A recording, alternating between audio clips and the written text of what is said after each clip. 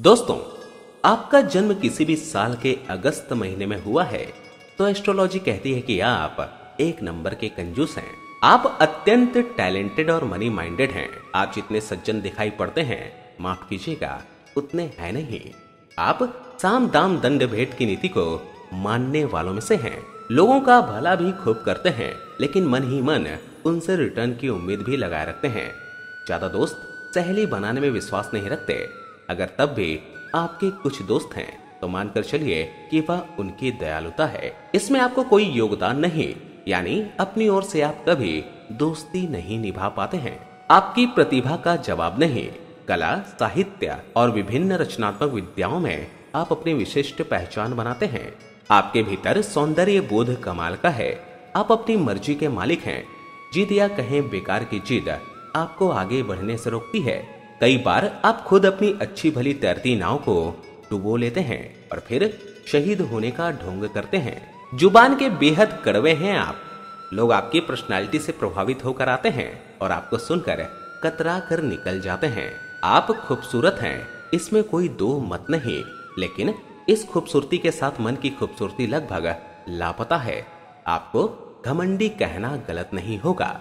पैसों के सामने रिश्ते, नाते, दोस्ती, प्यार सब आपके लिए बकवास है। कौड़ी कौड़ी का हिसाब रखते हैं। खासकर कभी किसी मौके पर आपको अपनी जेब से देना पड़ जाए तो सूरत उतर जाती है आपके। आप अक्सर अच्छे बिजनेसमैन इंजीनियर टीचर या फिर कलाकार होते हैं। प्यार के मामले में बुद्धू और बिगड़ैल होते हैं।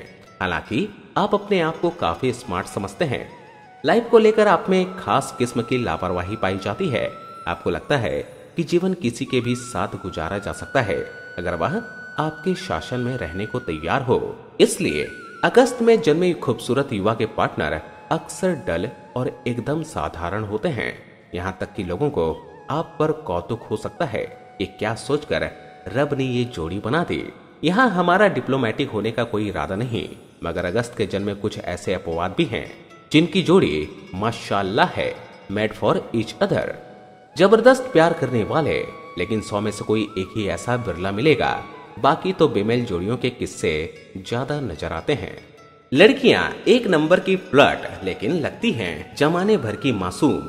इतनी सफ़ाई से मुर्गे आई I मीन mean, लड़के फंसाती हैं कि बेचारा हलाल होने तक इसी भ्रम में रहता है कि उसके जैसा भाग्यशाली कोई नहीं। इनकी खासियत यह होती है कि ऊपर से अबोध होने का स्वांग बखूबी रचा लेती हैं और दुनिया को भी कानो कान खबर नहीं होते। सौ चूहे खाकर बिल्ली चली। सॉरी, इसमें बुरा मानने वाली कोई बात नहीं है।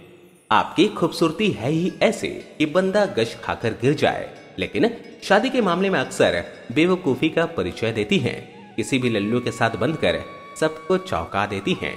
आपको सलाह है कि अपना टैलेंट बर्बाद न करें। इतनी कलात्मकता हर किसी के नसीब में नहीं होती। बहरहाल, आपका लकी नंबर दो पाँच, नौ। लकी कलर स्लेटी गोल्डन और red lucky day Sunday Friday और Wednesday lucky stone moon stone सुझाव शिव मंदिर में दूध और मिश्री चढ़ाएँ तो ये थे दोस्तों, अगस्त महीने में जन्मे लोगों का स्वभाव।